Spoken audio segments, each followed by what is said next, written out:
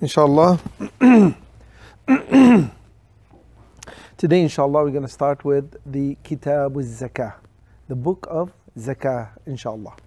As we all know, alhamdulillah rabbil alameen, uh, the Zakah is the fifth, uh, uh, um, out of five pillars of Islam, is the third, is the third, as Rasulullah alayhi salatu wasalam, from hadithi Abdullah ibn Umar, says, بني الإسلام على خمس and Islam was built or was constructed on five pillars.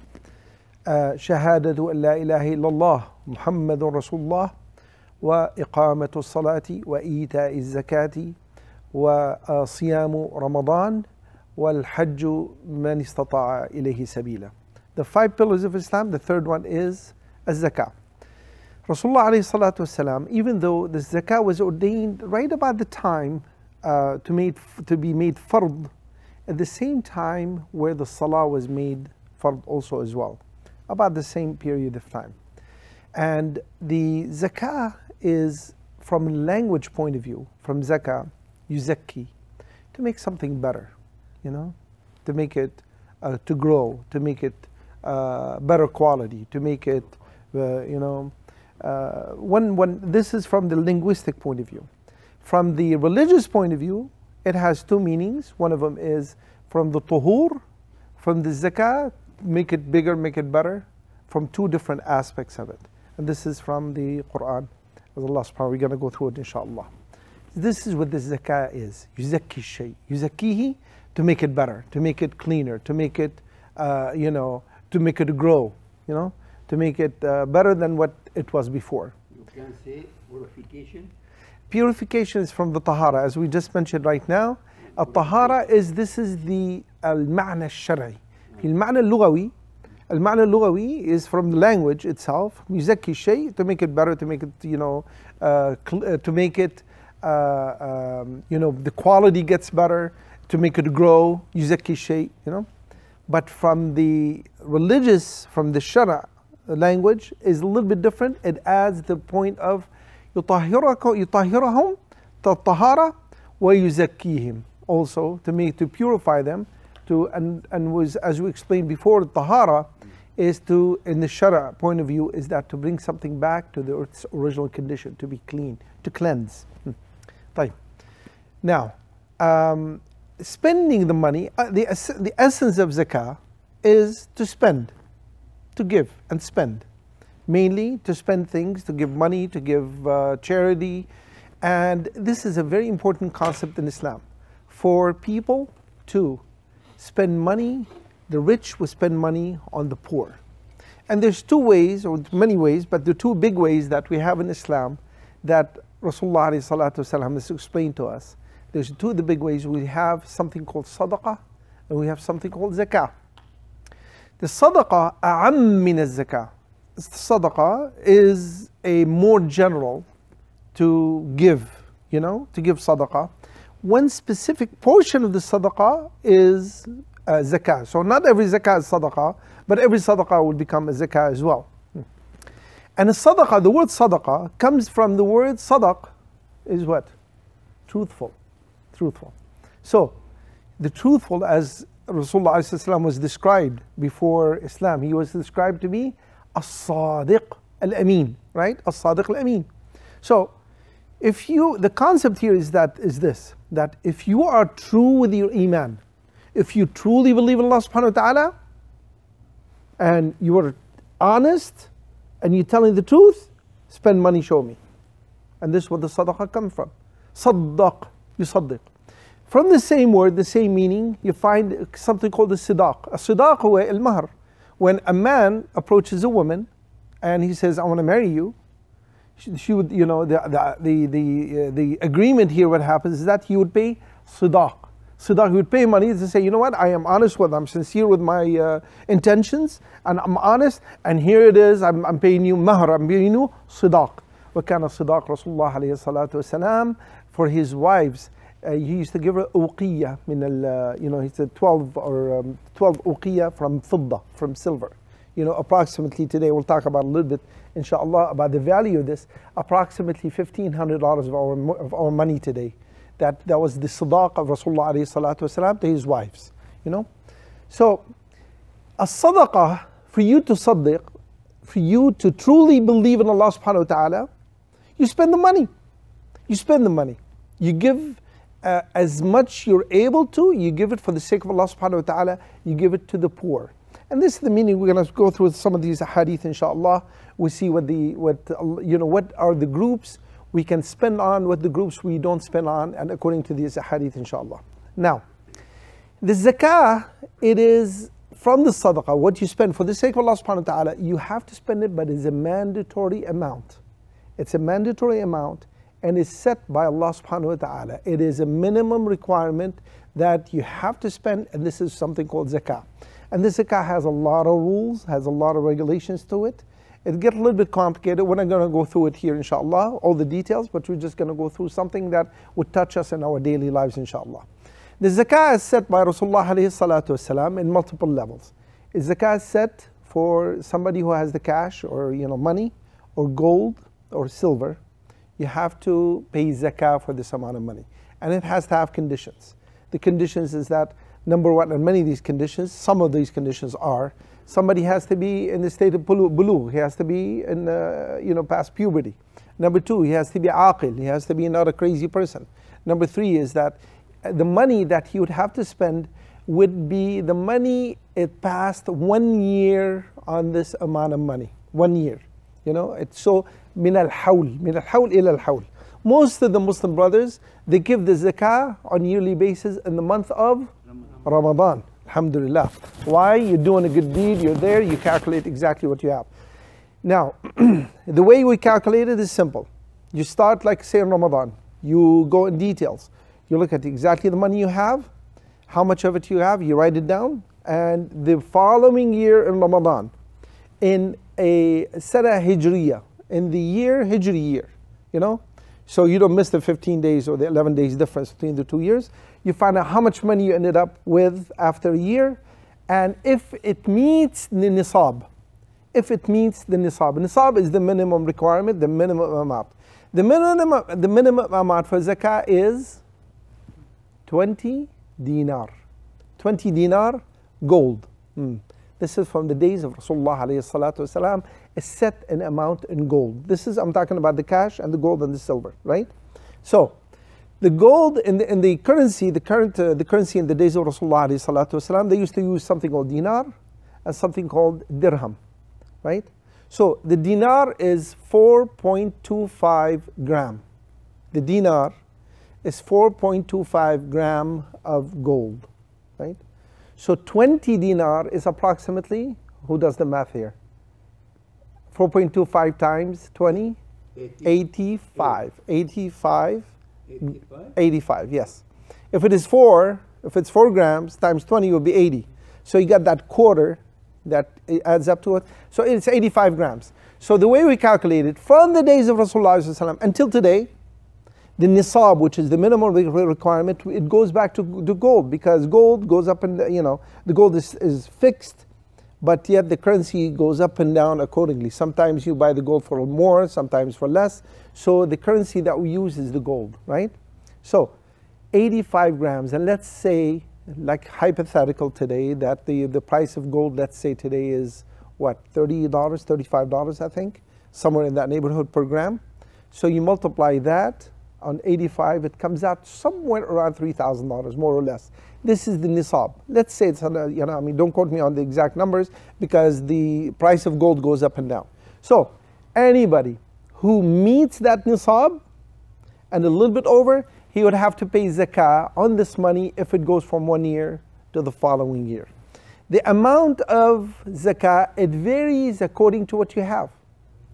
If it is gold or money or cash or value, the amount to be paid to be paid is two and a half percent. It's a quarter of the tenth, which is two and a half percent. Hmm. Now, if and this is changes, nisab changes, and the amount changes. It depends on other value that you would have. Some people would have, like let's say, uh, cows.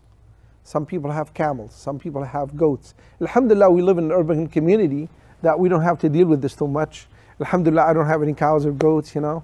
So, uh, it's, it's easier to calculate, right? Alhamdulillah.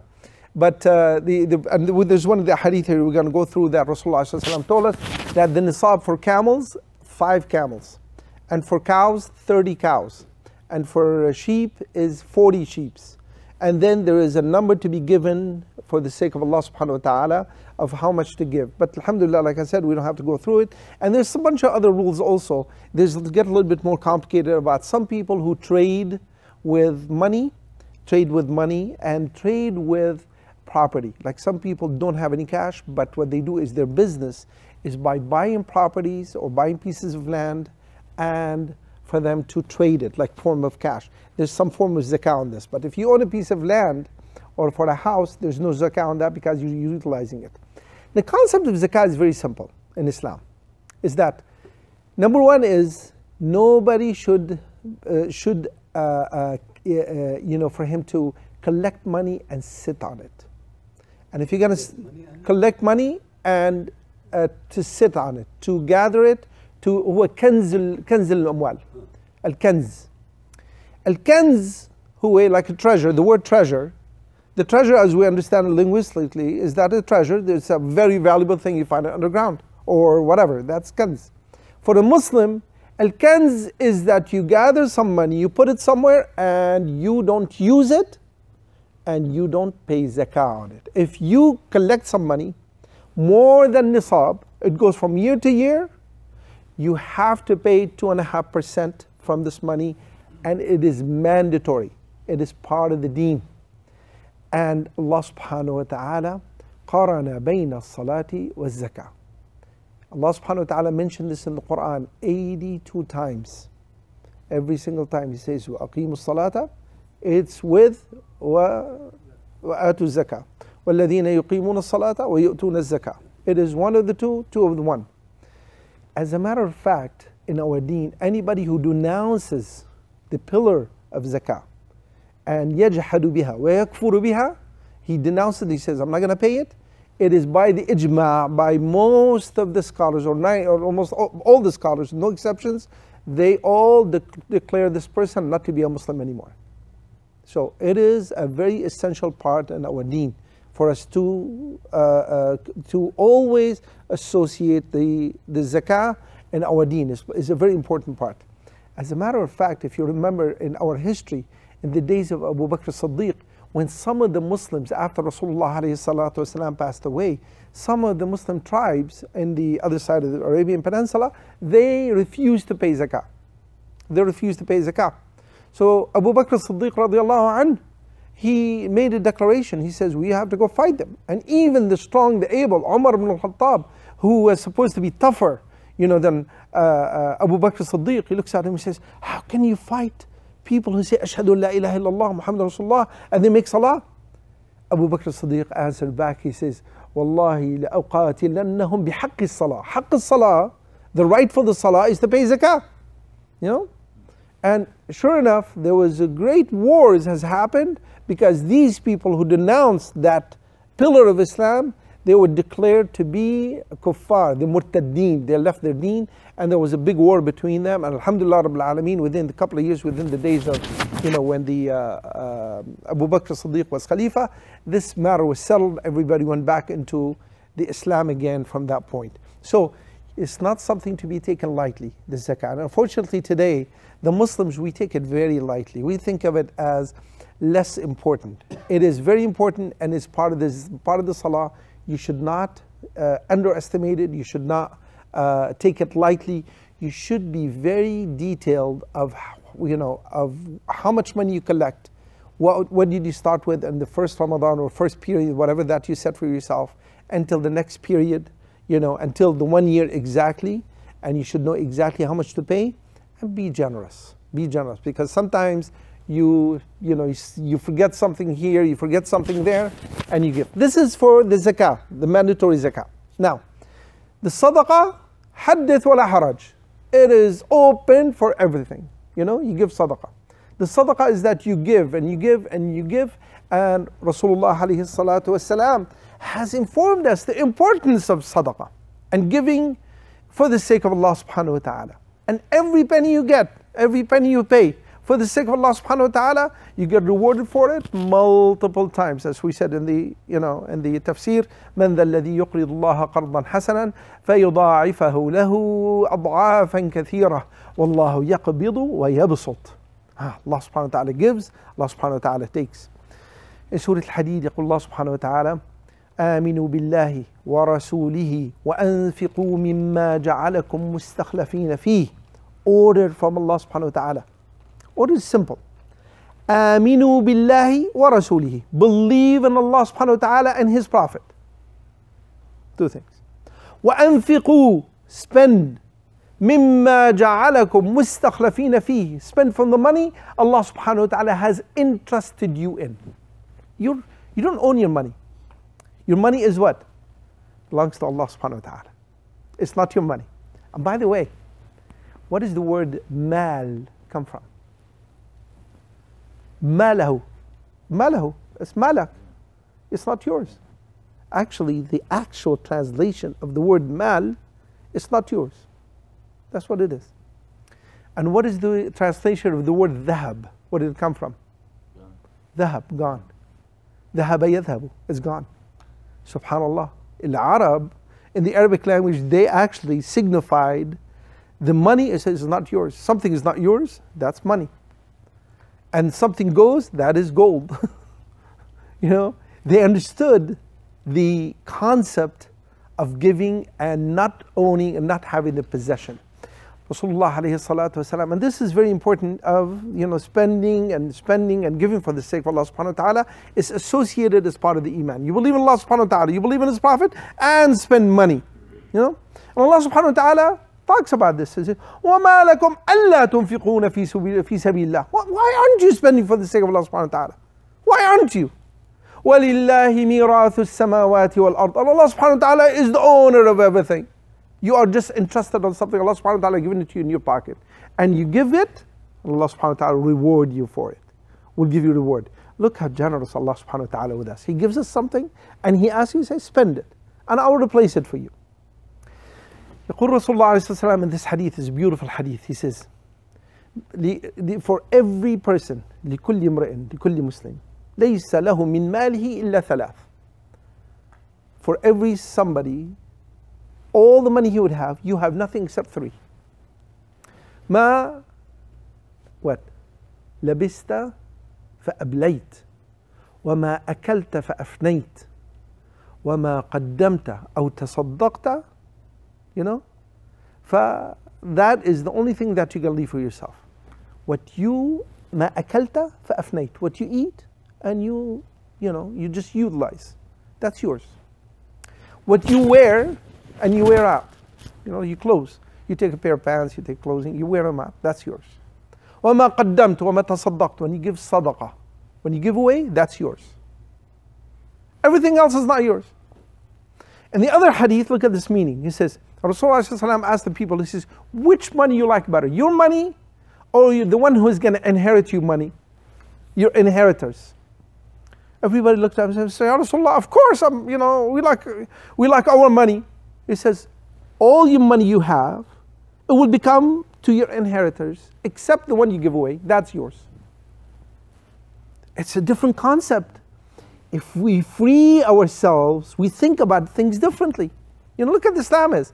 Rasulullah والسلام, walked in on his house, in his house, where Aisha is. He made a dhabiha that day, and he slaughtered a shat, right? A, a, a, a lamb. He slaughtered a lamb and he comes in and he gave away, she gave away, you know, whatever. He comes in at the end of the day around Asr time and he would ask her. And he would say, What do you have left? She say, Ya Rasulullah sallallahu alayhi wasallam says, uh, we, everything's gone except the shoulder, the piece of shoulder. And he says, No. Everything stayed except the shoulder. That is the, the one that's gone. Everything stayed. The one she gave away, that stayed.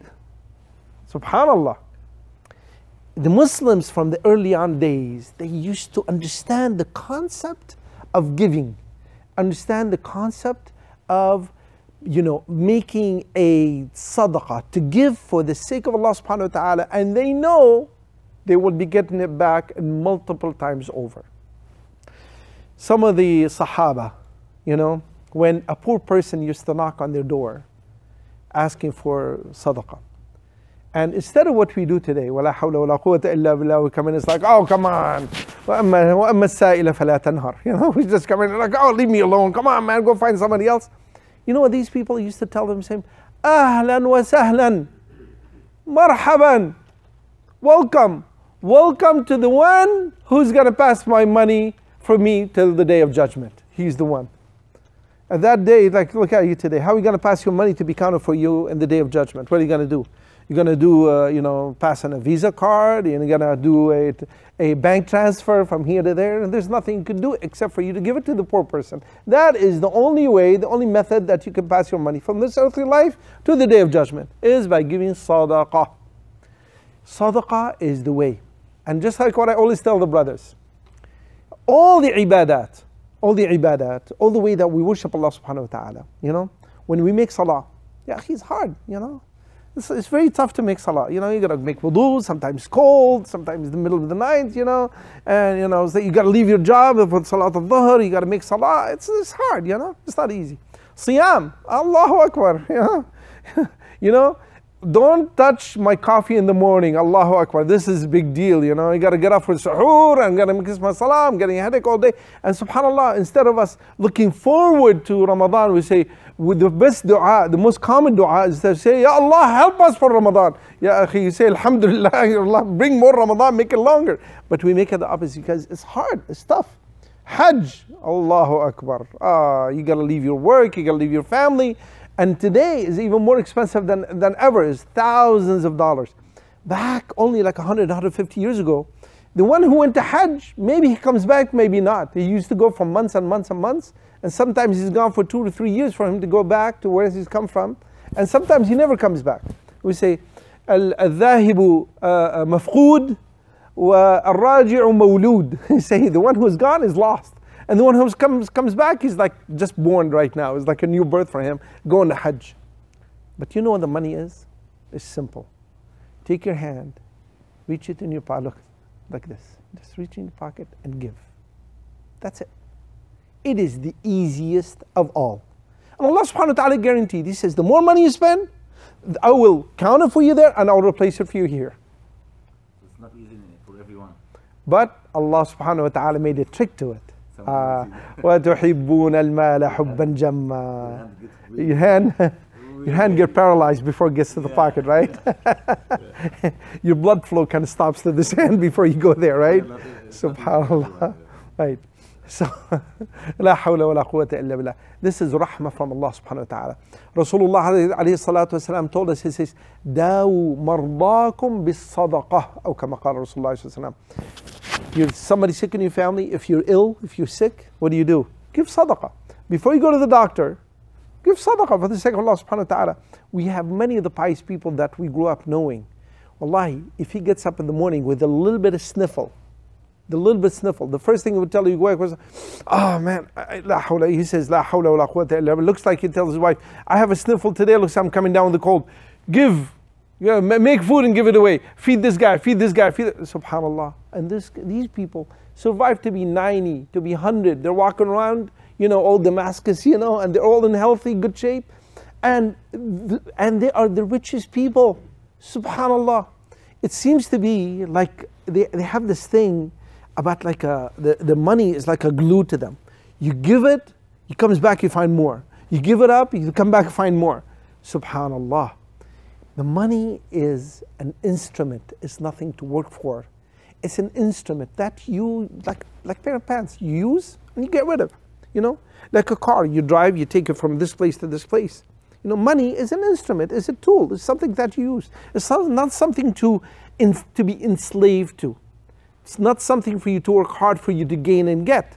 Like Rasulullah he says, Ta'isa abdu dirhami wa ta'isa abdu dinar.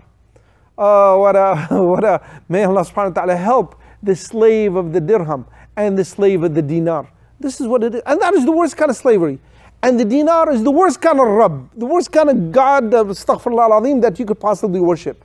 And it gets so bad, you worship it more than you would worship Allah subhanahu wa ta'ala. Astaghfirullah al You work all day, you're trying to get it. You stay all night trying to keep it, trying to protect it. You are so concerned about losing it People, when the, the stock market crashes, they throw themselves off of a building. We say, oh, I lost, you know, I used to have $10 billion. Now I only have $500 million. La hawla la quwwata illa billah. I'm going to throw myself. I'm going to kill myself. You know? It get to the point that to people it's actually more important than their own souls.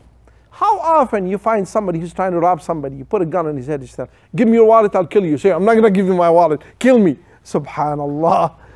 He's not even willing to give up his own wallet, whatever his money's in there, for his own life Subhanallah, the love of money, how Allah subhanahu wa ta'ala put it in our hearts. And Allah subhanahu wa ta'ala made it a test for us. As much as He planted this in us, He says, وَتُحِبُّونَ الْمَالَ حُبًّا جَمًّا We love the money so much. Allah subhanahu wa ta'ala says, give it. Give it and give it freely. And give and give and give and give. And that is the true trust, Allah subhanahu wa ta'ala. We have to feel how much iman, how much trust we have in Allah subhanahu wa ta'ala, knowing that Allah subhanahu wa ta'ala provided and we give, Allah subhanahu wa ta'ala will replace. That is the true sidq. That's how you substantiate your iman. That's how you prove it. As what we say today, you know, uh, and this is a slang where they say, you know what, put your money where your mouth is, right? This is not a very far fetched. Put your money where iman is. If you're truly mu'min, if you really believe in Allah subhanahu wa ta'ala, put your money here. Believe. Truly believe in Allah subhanahu wa ta'ala. How often, ya akhi, wallahi, I sometimes do lectures in some of the masajid, and, and some of the, the brothers walk up and say, you know what, this brother came up to me and he wanted some money. And somebody jumps up from the back and say, no, no, no, no, no. Don't touch the money. Don't talk about money. The bank is open. Go to the bank. I say, ah, subhanallah. I say, la ilaha illallah. And right in the middle of the masjid, we have this culture thing planted in our hearts and our minds that don't, you know, I, I shake your hand all day. I'll make salah next to you all day. And I go to Hajj with you, but don't talk to me about money. Money is not, subhanallah. The true iman is that you give and you give and you know know that Allah subhanahu wa ta'ala will give it back. Allah subhanahu wa ta'ala will count it for you. لا يؤمن أحدكم حتى لا يؤمن أحدكم حتى يثق بالله ثقته بالدرهم الذي في يده. None of you would believe, would be a true believer until you trust in Allah subhanahu wa ta'ala as the way you trust in the dinar or dirham you have in your pocket. Can you imagine? how demeaning this is, how much of a poor iman this somebody who trusts the dinar would trust the dollar in his hand more than he would trust in Allah subhanahu wa ta'ala. You know? It is is unfathomable. Hmm. So from the days of Rasulullah people have set standards, set the high bar for spending, giving. Abu Bakr as-Siddiq radiallahu when Rasulullah asked them for people to spend money in this Ghazwat Tabuk, you know, it's been the Rasulullah asked for people to give and give money, you know. Abu Bakr as-Siddiq radiallahu he comes in, he brings some money, you know, he's carrying it, he leaves it there in front of Rasulullah Rasulullah looks at him and says, MashaAllah. And he asks him, Ya Abu Bakr radiallahu anh, what did you leave in your family? He says, I left Allah subhanahu wa ta'ala and His Prophet. That's it. A man gave up everything he had when he was asked. Umar ibn al-Khattab comes in. He brings him more, a lot of money. Rasulullah alayhi salatu wasalam says, Ya Umar, what did you leave in your family? He says, like those, half. Half of his money. Look, look at the iman. Would you give up half of your money right now if you're asked? Well, let me change that. Would you give up what's in your pocket right now if you're asked? Just that. What's in your pocket? Would you give? I think you will because you don't have any wallet. the credit cards, right? you give it all up. Hmm. I would. There has been mentioned about a very famous person in Islam, and that was later. I mean, this is in the days of Sahaba. I mean, you know, days of Sahaba was something else. If you want to talk about Uthman ibn Affan, Uthman ibn Affan was one of the richest people in Mecca, and he was the biggest, the biggest spenders, spender in Islam, the biggest of all. When he was being attacked by the people who assassinated him, he asked them, he says, Do you remember? And he made a, he made a point of this. He says, Do you remember Rasulullah in the days of the battle of, uh, of uh, Mu'ta, when, uh, the battle of Tabuk, Rasulullah sallam climbs on the minbar and he asked people to spend. And he says, Who's going to spend for the sake of Allah subhanahu wa ta'ala? Uthman al Affan walks in. He says, I came in and I gave a thousand dinar. Rasulullah alayhi salatu wasalam makes dua for him. He says, La ilaha illallah, thousand dinar. And he would ask some more. Give more, give more. Uthman ibn Affan outbids himself. He's the one who did the first time, he comes back second time. He comes back, he gives a thousand, you know, camels for the sake of Allah subhanahu wa ta'ala. Rasulullah makes dua for him. And says, "Ask for more. Uthman ibn Affan steps the third time. And he says, all what the food is needed for these thousand, you know, camels or whatever, I'm giving it. Rasulullah came down from this minbar, you know, came back and came down. He says, ما ضر عثمان ما فعل بعد اليوم. ما ضره ما فعل. This here, can you imagine one person finances a whole battle by himself, one man? That is Uthman ibn Affan.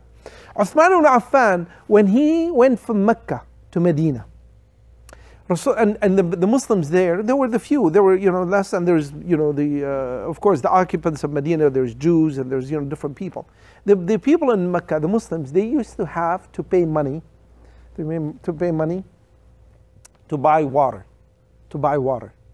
So, and there was a big well, it's called Bi'ru Ruma, Bi'ru Ruma.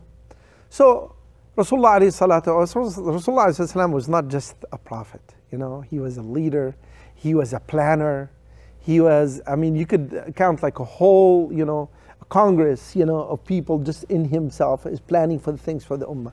He, he walks up, he says, which Muslim, ayya Muslim, yashtari bi'ra Ruma, buy the well of Ruma for the Muslims so they don't have to pay uh, the person who used to own it, which was a Jewish man, he used to own it in Medina. So Uthman ibn Affan heard this. It's like, ah, la ilaha illallah, there's an opportunity. Yet another opportunity to give money, to do something, you know. So Uthman ibn Affan, he goes to the owner of this well, you know. He walks up to him, he says, sell me the well. He says, no, no, no, no. I'm making money off of it, you know. For every qurba water, he used to sell it with one dirham, one dirham for, you know, silver. So Uthman Affan tells him, says, okay, well, how about if I buy half of it from you? The Jewish man goes, oh, that's a good idea. I could sell you half. So, all right, so I'll sell you half. And supposedly, he paid for it more than 15,000 dirham. It's, you know, the numbers changed over the years. People said this way, that way, whatever. Wallahu alam is about 15,000 dirham he paid for it. And the deal was this. The deal was uh, Uthman Affan will have one day, you know, because how are you going to split the water in the, in the well? So Uthman Affan will have one day, and this other man will take the other half, you know, the other day. So, and they made it. وحدث ولا حرج you talk about the Sahaba used to give and give and give. Salman al-Farisi was a very poor person, very poor. And you remember the, the story of Salman al-Farisi. Salman al-Farisi was born in Persia and he was looking for Rasulullah the prophet that's going to come. And then he followed Christianity. Then he was he went down to Medina because he heard that Rasulullah will be coming out still at that point. So he's heading to Medina and he was captured. He paid some people to take him there and he was captured by them and he was sold as a slave and he was a slave in Medina where Rasulullah migrated. He's poor. Salman al Farisi used to, uh, his job, his work, used to weave baskets. That's his job. So his way of living was every day he would you know, make some baskets and he would sell it next day. His money divided into three different parts. One part goes back into his business, you know, buying materials for him to to make more baskets. And the other part was to spend on himself. And the third part was he used to give it for the sake of Allah subhanahu wa ta'ala on daily basis. On daily basis. Amazing. There was this Egyptian scholar, he's an amazing guy, that in the year 200, 300. It's been said he was the richest man alive. And he never paid one dirham in zakah. One dirham. How? He doesn't pay zakah? He does not pay zakah. He never paid not even a single dirham in zakah. He never had any money to go over a year. He never had money to stay more than a day. The minute he takes money, he gives it up. The minute he takes money, he gives it up. As a matter of fact, one time he went to Hajj and he passed by a place and they were hungry and the, uh, poor people, you know, in Mecca. And that was the habit of the people in their own time. They used to give food for the Hajjaj So he passed by and they gave him a plate, it has dates in it. You know? Dates in it. So he sat there, he ate up the dates, and he returned the plate with dananir, with dinar, filled with dananir inside of it. You know? Can you imagine? I give you a plate filled up with dates, you return it back filled up in gold. That is the man. That is the guy. He never paid a single penny, a single anything in zakah. Because you remember the condition of zakah is for it to go from year to year. The guy never had never kept his money, not even one day. Talha ibn Ubaidullah, Sahabi Rasulullah. One time he was in he had some trade in Yemen. And the trade came back 400,000 dirham. 400,000. An obscene amount of money in his own time. And these are very humble people. He had this money. So he's sitting there, you know, at night, he had the money sitting in his house. And he's like turning left, turning right, right. He cannot sleep. The guy cannot sleep. sleeps. Like, subhanAllah, I'm sleeping in uh, the house. I got 400,000 dirham in there. So he's, you know, turning left, right, left, right. His wife, she gets up. He goes, What is wrong with you? Why, why can't you sleep? He says, La I have 400,000 dirham. I don't know what to do. She says, ah, Why don't you get up in the morning and give it up? Give it up, so and so your relative, so and so your relative, so and so your family, so and so is needy. And she started getting a list of the people. He says, Ah, he says, Oh, what a great opinion you have. He could barely finish until Salat al Fajr. He went to the masjid. He calls up all the people he knew from his family. He divided it all, every last one of them. And he comes home, he's like, Alhamdulillah, now I could go back to sleep. But guess what? Not that well. He comes back and his wife, she asks him, says, where's my, where's my share? And he goes, well, I wish you told me earlier. I spent it all. his wife, she says, you spent 400,000 dirham. You didn't leave anything for your wife? And then he, reach, he reaches in his pocket, you know, here and there. He finds a small pouch, has a thousand dirham. He goes, well, that's what's left. I hope that's going to make you happy, inshallah. Out of 400,000 dirham, he, left, he leaves himself with nothing, with nothing. The opposite of it, look at the hurs of people, how used to be. They used to love money and they want to gather money. One of them is none other than Abbas al Abbas, the uncle of Rasulullah. There was an incident, an amazing incident about al Abbas. And of course, we're not putting him down, but, but look, at the, look at the quality of the people, how they used to be different. Al Abbas, one time he came to Rasul, Rasulullah, he, was, he came to the masjid and there was the zakah, the, the zakah money came in from Bahrain, from the uh, west, from the eastern side of the peninsula, of the Arabian Peninsula, money came in and a huge pile of it was piled up where? In the masjid. Rasulullah came through the door, right to the, to the minbar, and he did not even glimpse at it, did not even look. He's like he got his eyes right where he's going to make sujood. He's walked over there and he made the two he made salah, and then he sat down.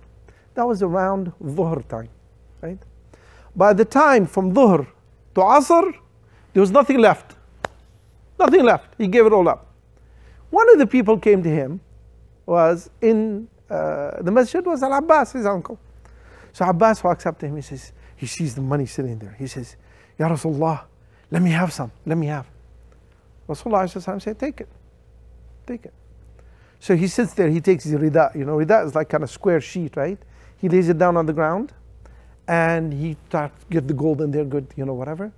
He, you know, squeezes it up. He wants to lift it and he couldn't. So he's like pulling, you know, and he cannot pull it. So he says, Ya Rasulullah, sallallahu alayhi He said, Rasulullah says, I'm looking at him, you know, watching him doing this. He says, Ya Rasulullah, uh, would you ask uh, somebody to help me? Rasulullah said, La, no, I'm not going to. So he looks up, he's trying to pull someone, he says, Ya Rasulullah, can you help me? Rasulullah said, No, no. So he gave up some, he you know became less. He took it again, he tried to pull it, he couldn't. again, the second time. Then he started to reduce from it, reduce from it, until it became right amount. Well, he's walking with it, stumbling on it, barely could make it out of the side of the masjid.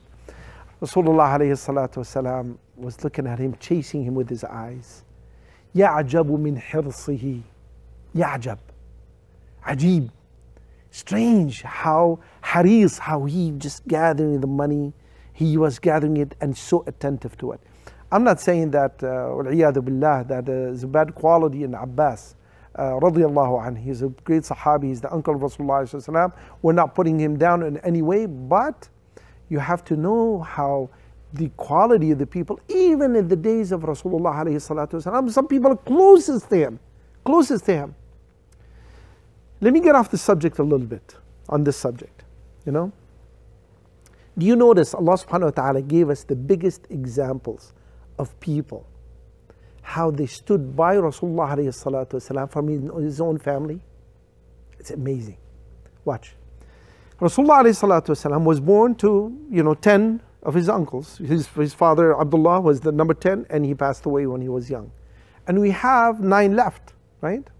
From these nine left, who do we know? We know the biggest enemy of Islam is his uncle, Abu Lahab. That we worship Allah subhanahu wa ta'ala today by saying, Tabbat yada Abi Lahab wa tab. We, we worship Allah subhanahu wa ta'ala. In the salah, we teach our kids the ayat in the Quran, how to condemn him, condemn this man, and what to say about him. Subhanallah. That is the uncle of Rasulullah. He's the first one to denounce Rasulullah when, uh, you know, the, the year three, Rasulullah was at the edge of the Medina and he, at the Mecca, and he called the people. He says, If I tell you today there's an army coming in from behind the mountain, would you believe me? He says, Of course, Anta Sadiq Amin. And he says, I want to tell you that I am the Prophet of Allah subhanahu wa ta'ala and there's no deity except Allah subhanahu wa ta'ala. The first one to speak, bad choice of speaking the wrong time, the wrong thing. He says, قَبَّحَكَ Allah. And Allah subhanahu wa ta'ala قَبَّحَهُ and He made that surah to follow him. That's Abu Lahab. And yet, we have one of the biggest supporters of Rasulullah alayhi salatu wasalam, which is Asadullah, Hamza ibn Abdul Muttalib, his uncle, subhanallah, Hamza. And Hamza radiallahu anh did not give up, you know, everything, the cheap and the valuable. He gave up his own life and he died in the Battle of Uhud. That's Hamza. And you got who else? You got Al Abbas. Al Abbas, he was Muslim, but he never migrated from Mecca to Medina. He never did. And he was actually in the army of the kuffar, fighting Rasulullah والسلام, even though he's a Muslim. He was one foot this way, one foot further. He's like, oh, he's a Muslim, but he did not migrate. He fights against the Muslims, but you know, he didn't kill anybody. Subhanallah. One foot, you know, you know, in, in, in not exactly making a firm move. When Al Abbas was captured out of the 70 people in the days of Badr, in the Battle of Badr, he came to Rasulullah, Rasulullah he says, You got to pay ransom like everybody else. Al Abbas says, Ya Rasulullah, I am Muslim like you. He said, No, you're not. If you're Muslim, you would have migrated. You would you would have been on my side. So he forced them to pay ransom for himself, for Uqayl ibn Abi Talib, his, his nephew, for, you know, for many other people in his tribe, he has to pay ransom. He did not enter Islam fully, as fully heartedly as we know it today, until the day of Fath Mecca. You know, that was the day he did. This is the way, subhanAllah. This is the third one. The fourth one is the one who helped Rasulullah was on this side. He did amazing deals and yet he's in the hellfire, which is Abu Talib. Subhanallah. He did so much for Islam and he helped so much and he stood by Rasulullah. Even few Muslims did the good deeds as he did. But none of his deeds count. They all means nothing because Rasulullah came to him that day when he was on his deathbed and he asked them, he says, yeah, Am, oh my uncle, say it, just say it. Subhanallah, one of them said the wrong thing, and the other one is not saying the wrong thing, the right thing. Subhanallah, you know, and he refused. He says, No, I will follow the deen of my shaykhain, shuyukh, my, you know, my ancestors. He refused. And Rasulullah informed us he is in the hellfire. That is the uncle. What about the rest? Nothing. We know their names, but we don't know anything what have they have done. We don't know who died, we don't know who lived, we don't know what they did, we don't know. And subhanAllah, if you look at us as Muslims today, as humans today, you find a very small samples of these nine people who are the uncles of Rasulullah. You guys, the biggest enemies, And you got the biggest supporters. And you got the wishy-washy who take makes the decision going back and forth. And the others who make good deeds, but they're not getting paid for it and the others are so obscure nobody knows about them. Subhanallah. Examples in the life of Rasulullah alayhi salatu wasalam. So we'll keep going here inshallah. Um, Rasulullah alayhi salatu wasalam has informed us. He says, In kullun minkum illa mulaqillah. Each one of you will face Allah subhanahu wa ta'ala. You are going to meet Allah subhanahu wa ta'ala. Each one of you, each one of us. Will meet Allah subhanahu wa ta'ala. فينظر ليس بينه وبين الله ترجمان. There's no translator between him and Allah subhanahu wa ta'ala. No, no translator. Allah subhanahu wa ta'ala will speak to you, and Allah, you're going to speak to Allah subhanahu wa ta'ala. There's nobody in between you. Between you and Allah subhanahu wa ta'ala. فينظر إلى يمينه. He will look at his right side. He would see his good deeds. فينظر إلى مشأمه. He looks at the left side. فيرى آثامه وسيئاته. He see his bad deeds, the stuff he has done. فينظر ما بين يديه. You look right there in the middle. فيرى النار. He would see the hellfire. He would see the hellfire. Rasulullah alayhi salatu wasalam, what do you think is the advice of Rasulullah alayhi salatu wasalam at that point? What is his advice? Make extra salah, make extra hajjah. Just go to hajj one more time. That's going to save you from that day. Or did he say, you know what? Make more tasbih. Make more alhamdulillah. Or what? What do you think? He says, فَاتَّقُوا النَّارَ وَلَوْ بِشِقِّ تَمْرَةٍ Avoid the hellfire with half a date. Half a date. Sadaqa Rasulullah alayhi wasallam. That is the advice. And you think about it. This is the day that you need the most amount of work and the right correct advice from our Prophet, from our mentor, from our teacher, Rasulullah ﷺ, to save you from that day and what are you going to have in that day. And Rasulullah ﷺ pinpointed it exactly what's going to save you.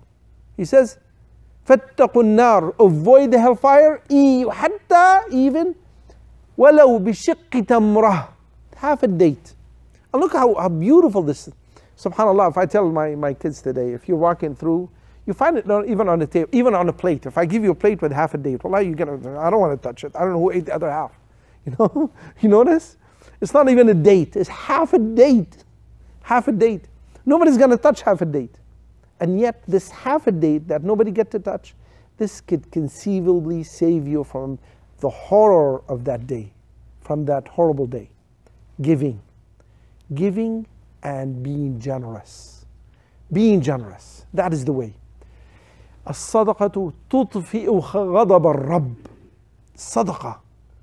It will extinguish the anger of Allah subhanahu wa ta'ala. Amazing. Amazing what money could do. Amazing. As well as amazing what it could do here. It will get a candidate who's not worth nothing, he'll make him a president, subhanAllah. And you get some idiot who'll make him a great CEO of some company just because he got the money. And you got some guy who's worth nothing, who calls himself a gentleman, and he is submerging himself in all the things angers Allah subhanahu wa ta'ala. With the money he got, he's living up there in the most expensive property in Beverly Hills or here or there or whatever. Subhanallah, the money what it could do to people. Hmm. This money that gets people up there will make people down there, will make the people, inshallah, go to the Jannah and will make them enter the hellfire. The money. Do not underestimate the money and what the money do to us. Hmm. So, inshallah, we're going to start with the first hadith where, where the, you know, the time is closing after this long introduction. Um, uh, عن ابن عباس عن عبد الله ibn Abbas we mentioned the Abbas رضي الله عنه now his son Ibn Abbas Abdullah ibn Abbas was by the way where did Abdullah ibn Abbas where did he grow up Al Abbas was a poor from the, all the uncles he was poor he was not very well off so his other uh, brother Abu Talib he came up to Rasulullah and he took his children the children of uh, Al Abbas uh, and he says he dispersed them. He says, "You take, you know, Ya Muhammad, you take one. You know, you take one. You uh, adopt them, like kind of adopting, adopting kind of situation, because Al Abbas does not have enough money. So Rasulullah wasalam was responsible of Al Abbas, Ibn Abbas, Abdullah ibn Abbas. Abdullah ibn Abbas was from the four people who used to recite the Quran in the most beautiful way from the Quran reciters. One of the few people who memorized the whole Quran before Rasulullah passed away. That was one of them. Abdullah ibn Abbas was, if you look today at the sanad of the recite, Quran recitation, uh, almost all the sanad goes back to Ab- Abdullah ibn Abbas. He's the one who narrated this, you know, from the 10 recitations, goes back to Abdullah ibn Abbas. He was faqihul ummah. He has so much fiqh, so much knowledge. Abdullah ibn Abbas. When he used to sit, and mashallah, he has the most amazing insights in the, in the Quran and in the fiqh. I want to tell you sometimes about the opinions he had about, Quran, about the Quran will astonish you. And he was young. He was not that old. Umar ibn Khattab, one time, he, you know, he's sitting there, he says, Ya, ya Abdullah, la tuhaqqir nafsak. He said, don't put yourself down. Out of respect, when Abu Bakr as-Siddiq radiallahu anh is sitting, when Umar ibn Khattab is sitting, he used to stay quiet. Um, um, Abdullah ibn, um, Umar ibn Khattab and, and Abu Bakr as-Siddiq, they used to bring him. You're the first one to sit there. I want to listen to what you have to say. You know, even though he was young in age, but Allah subhanahu wa ta'ala blessed him with a great amount of knowledge and blessed him with the Quran and the Quran memorization.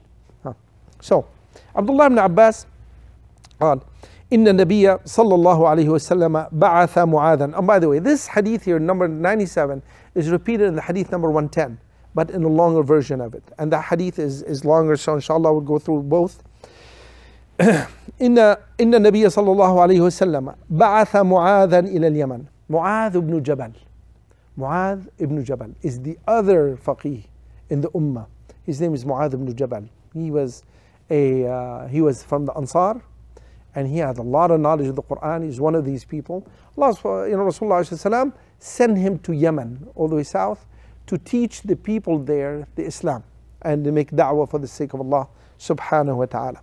He instructed him. He says, قال ادعهم إلى شهادة أن لا إله إلا الله وأني رسول الله. Make da'wah to them that I am, you know, to shahada, la ilaha illallah ومحمد صلى الله عليه وسلم is the Prophet of Allah subhanahu wa ta'ala. فإنهم أطاعوك لذلك and if they obeyed you on that hmm? he says فأعلمهم أن الله قد افترض عليهم صدقة في أموالهم give them you know, let them know that Allah subhanahu wa ta'ala has made a mandatory sadaqah in their money in their money yeah that they have to be given تؤخذ من أغنيائهم will be taken from the rich ones وترد على فقرائهم and will be given back to the poor ones would be given back to the poor ones the hadith is very simple the da'iyah when he goes to make da'wah what does he ask for the very first thing is the foundation of Islam أساس الإسلام شهادة أن لا إله إلا الله Muhammadun Rasulullah. Look at this hadith and look at the variation of the hadith and also an Abdullah ibn Abbas, this hadith number 110.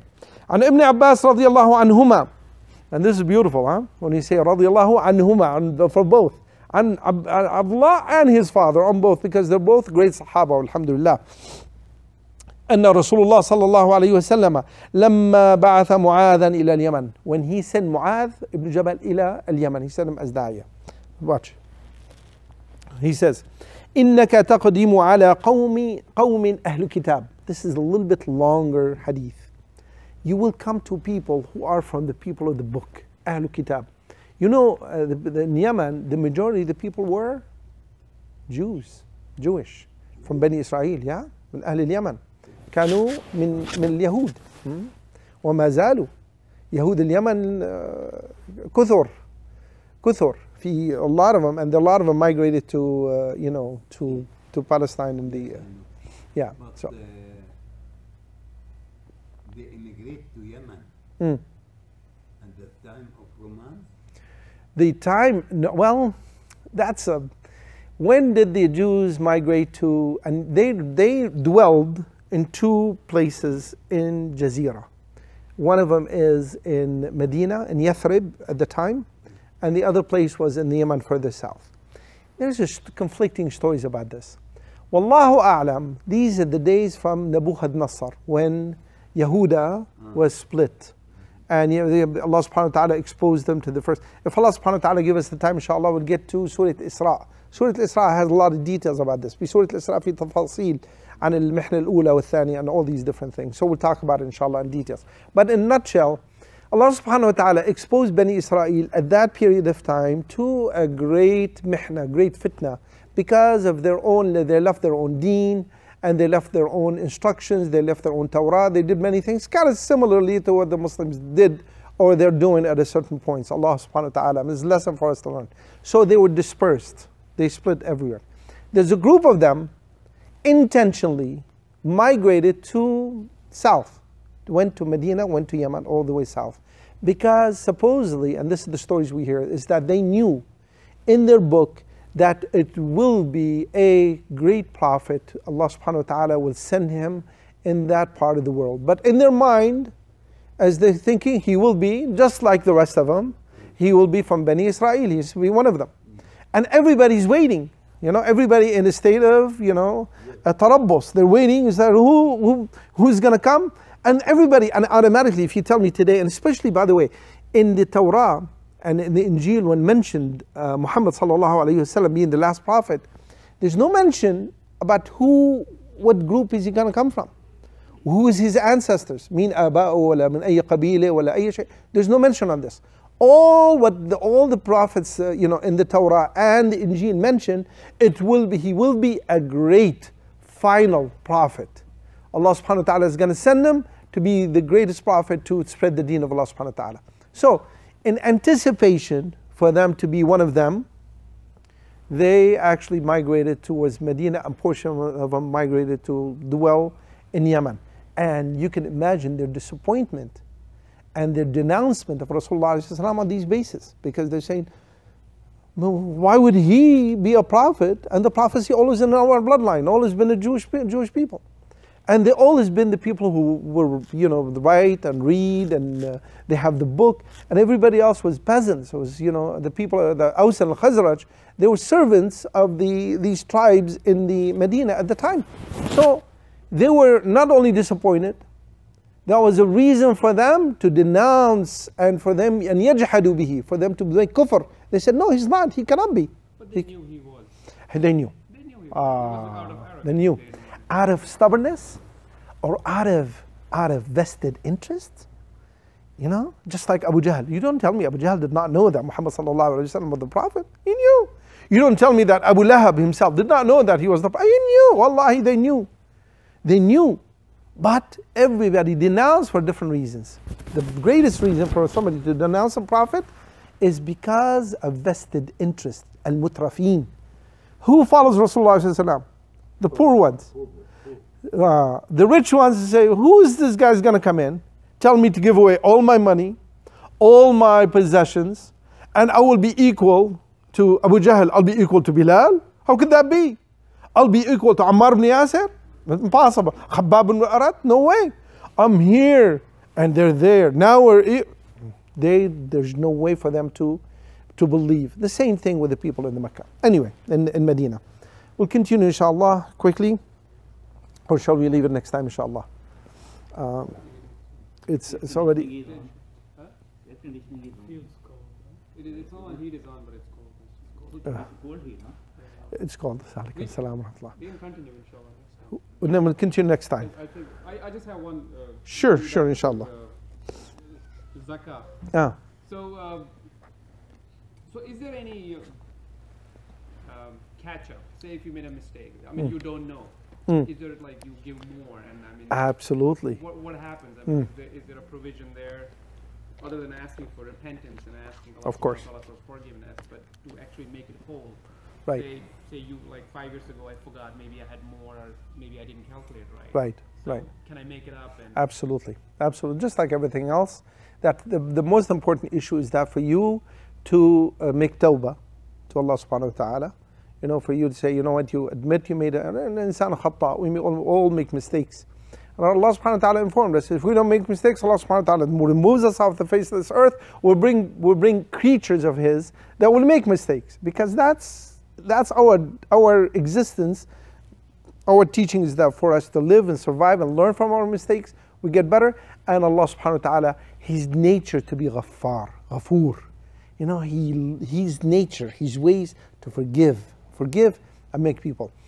For you or for somebody or anybody who uh, makes mistakes, like let's say that he's not sure, even sometimes in doubt, you know, in doubt. There's always something called makeup, you know, makeup. Like, you know, what we say, sunnat, nafila salah is the makeup for the farad, for the extra sadaqah to make up for the zakah, for, you know, to, to if, so if you feel at any point that you shortchanged yourself, and this is the way I want to say it, shortchange yourself. right way to say it. Yeah. If you shortchange yourself, he did not give the what is due to yourself from payments or whatever, uh, you could always make that up. You could always give more, and there's no limits for giving. There's no limits given the sadaqah. The zakah is mandatory, so it's, it's, it's different. It's mandatory. You can make it up with the extra sadaqah on the side is from the other. niyyah you have to make for it, Oh, of course, you, you make niyyah for that spe- specific intention, but it's very important, which is unfortunately we don't we do, and, and you know, uh, we should always be careful with, and I always talk to myself, you know, advising myself is that write things down, you know, write things down, make sure that you're, you know, uh, you know exactly what you started off with, how much you have to give, what needs to be given, and inform yourself because sometimes ignorance is the biggest problem there is a big issue that I did not bring up, um, which is the issue of jewelry. The gold jewelry and the silver jewelry and the silver possessions in the house. Uh, there's, a, there's a misconception. A lot of people say uh, that, hey, it's just jewelry. I, you know, I don't have to pay zakah for it.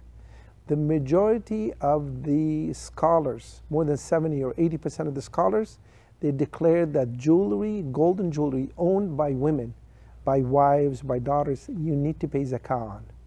It, the zakah needs to be paid. The ones you wear, The ones you wear, you have to pay zakah on. you save them.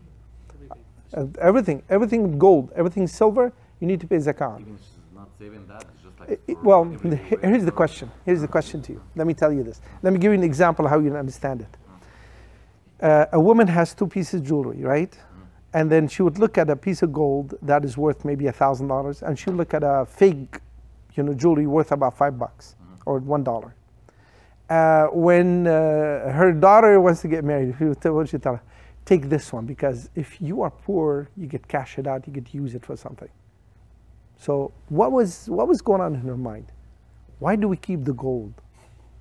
Although that it is for jewelry, you know, for us to you know, for women to dress up and and use it as bracelets and, and earrings, whatever. But there is something going on in the back of their minds, knowing that this is actually a possession saved. It has value, and I'm saving it. If some things go wrong, I could always cash it out. Well, if you're thinking Security. security. If you're thinking this way, automatically you need to pay zakah on. And if you think of it as jewelry, well, guess what? You know, a woman would, would uses you know a piece of gold. She would meet you know her niece or you know somebody. Oh, okay, no problem. Go ahead, take it. Have you ever seen that? Have you ever seen somebody walk up and say to her niece, to her you know anybody casually or somebody in the masjid, she made a daughter. Okay, this is not important. There's like this one daughter thing here. Oh, no problem. Go ahead and take this one here. It's worth ten thousand dollars. Go ahead and take it. Have you ever seen anybody does this? So they know, and they know in their minds and their hearts, they know that this, although that is used for jewelry, is to be dressed up, but it has a financial, tangible value, and it is kept in there for the security in the future. If you are thinking of it this way, you have to pay zakah on it. Every year Every year, the same thing. The- all the silver 20 years. Or and all the, yeah. And go ahead. I saw this zakat calculator that I got from uh, Islamic Relief. Mhm.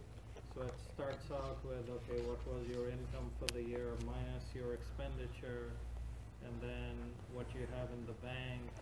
cash, or if you have any stocks and bonds, you add that. Right. Then if you have a house.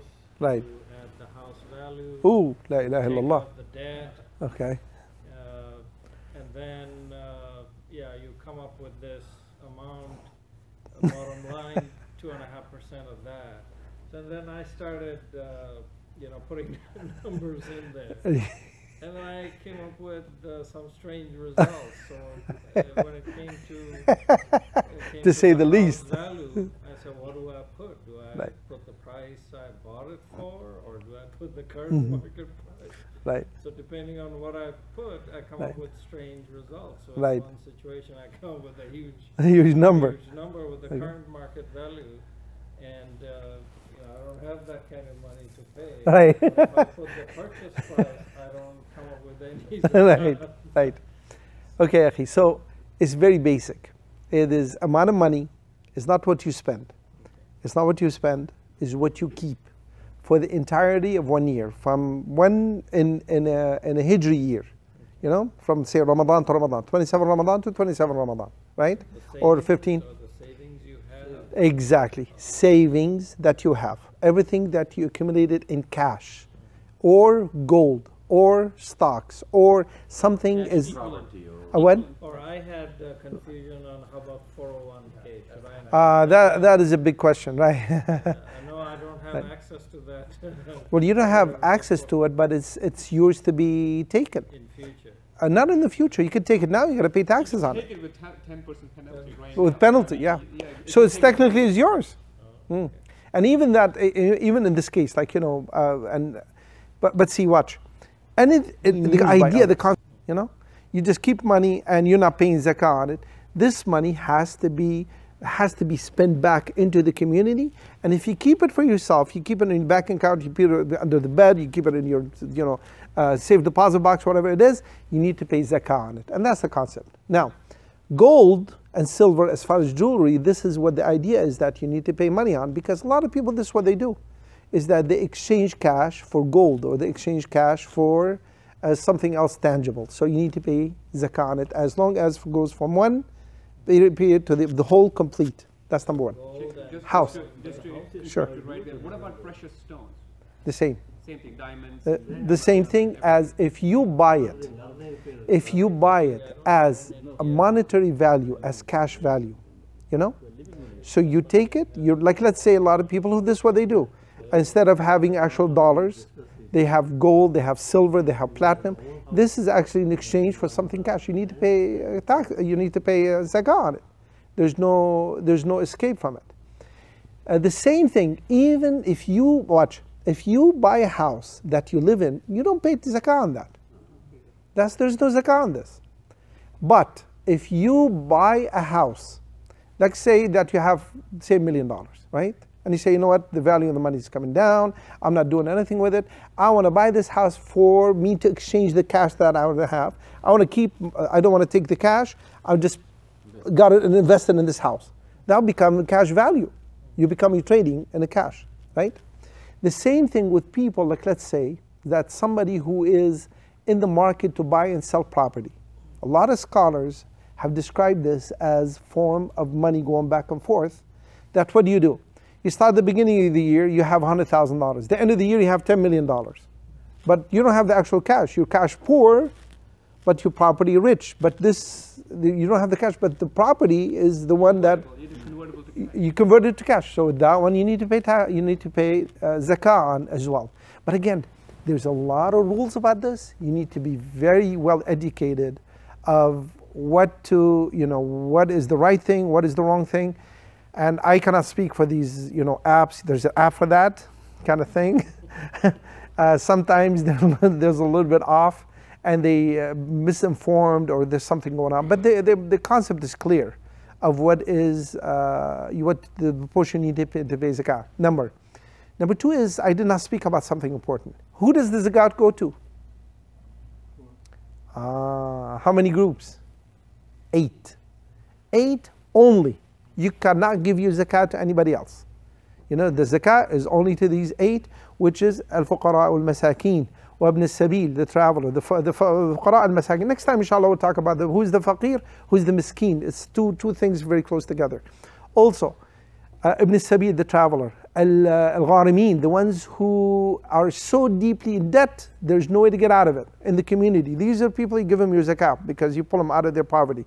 وفي الرقاب for you to free slaves for the sake of Allah subhanahu wa ta'ala والقائمين عليها the قائمين عليها is the ones who collect the zakah they get to collect and they get to take some of this money because they're working on it. So nobody, uh, who the, the people who collect the zakah, who is going to pay them? They collect from it. Um, you know, and then um, وَالْمُؤَلَّفَةُ قُلُوبُهُم مُؤَلَّفَةُ قُلُوبُهُم the ones who entered Islam recently. Do you want to, you know, drag them in, whatever? It's okay, you know, for you to give them some money from your zakah money for the sake of Allah subhanahu wa ta'ala. وَفِي سَبِيلِ اللَّهِ For the sake of Allah subhanahu wa ta'ala. And that was a confusing issue. People say, what do you mean fi sabilillah? Uh, would it be a masjid? That's fi sabilillah. Would it be a school? That would be fi sabilillah. And we know from our deen, a masjid is not. Masjid is different. Masjid is that you have an honor and privilege for you to build a masjid. That's not from your zakah money. You know, from your sadaqat, from something else, you do it on your own. The zakah is something else. And I'm sorry I'm taking too long, but inshallah we can talk about a little bit more details inshallah next time. Poor, how about poor relatives? Poor, absolutely, mashallah. Poor, poor, you know, fuqara al masakin, that is part of the zakah because the fuqara al masakin. Now, if they are related to you, they should give them money before you give the stranger. Al aqrabu al awla, you know, somebody who's related to you. Can you imagine if you have, you know, let's say a cousin who's poor, he's your cousin, and he's poor and he's your neighbor. Allahu Akbar. Now, even more reasons for you to give him. He's your neighbor, and he's your cousin, and he's poor. Your zakah should be towards this guy more than for you to give the strangers and the outside from there. Inshallah. Hmm.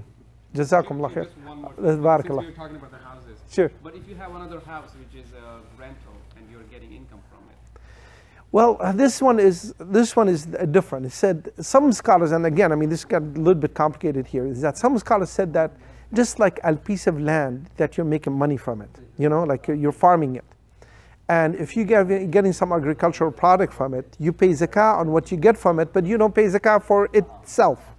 And the question is, where is the limits of what you pay for that house?